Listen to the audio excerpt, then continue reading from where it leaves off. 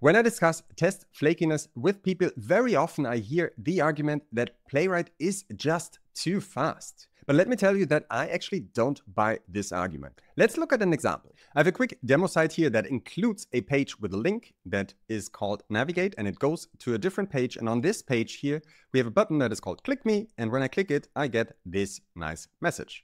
Let's look at the playwright test for this scenario. The playwright test navigates to localhost, then it clicks the navigate link, then it clicks the click me button, and then we expect that there's a heading with the name or with the content nice. And that's pretty much it. But there's a problem with this test case. When we go to the terminal and we run this test case 15 times, we will discover that sometimes it works and sometimes it doesn't. This test case is flaky. So what's the problem? When we inspect the trace file, we will see that the navigate worked fine. We navigated to a different page, we clicked the button, but then the heading just wasn't showing up.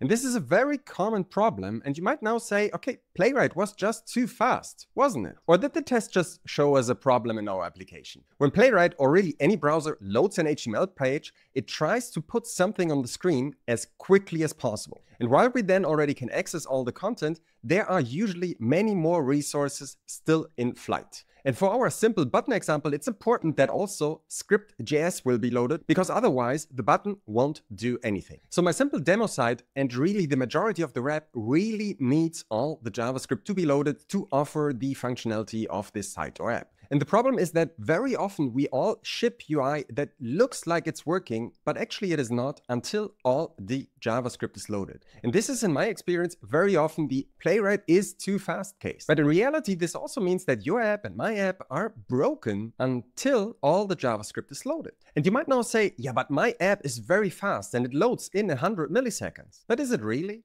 This argument is pretty much the it works on my machine argument. Because sure, here on my MacBook, on a fast connection, everything runs super smoothly. But it could also be that your customers and users are on slow connections and you just will never know how long it will take until everything is loaded. But very often it's just us shipping UI that looks functional and is not. And at the end of the day, it's on you to decide how much of a problem that is. But if Playwright is too fast, usually some of your users will be too fast too. So what can you do about it then? So first of all, you could fix this broken app state, or it's called poorly hydrated front ends, and maybe disable UI elements that don't do anything, hide them, or maybe bet on progressive enhancement. Playwright is pretty good at clicking on elements that are active. And if changing the front end isn't an option, I will link some videos to help you work around these issues in your Playwright test cases.